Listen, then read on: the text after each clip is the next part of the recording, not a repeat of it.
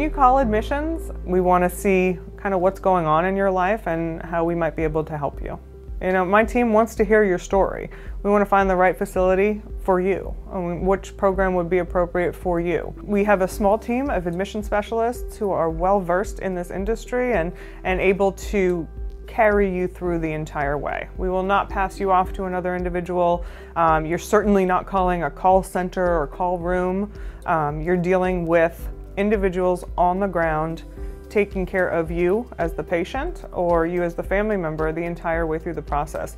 I've spent many a man hour, you know, as an admission specialist on the phone with individuals who may or may not have ever entered our treatment center, whether they got help or not, whether they never sought help, whether we helped them get somewhere else. We care. Alcoholism and addiction don't wait for any major holidays, birthdays, weddings, anything along those lines.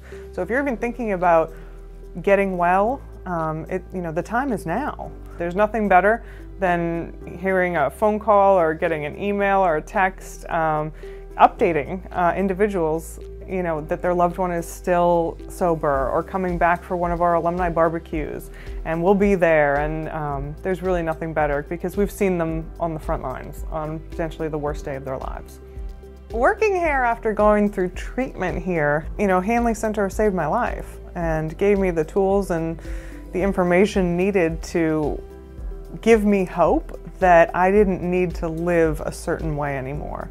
To come back here and be able to tell people that are scared or worried or really don't believe that recovery is an option for them, that there is hope, this place can work miracles. I didn't think a life of this quality was possible, you know, quite frankly, and I didn't think that sobriety in its fullest sense was an option for me. Um, so to work here is, I'm forever grateful.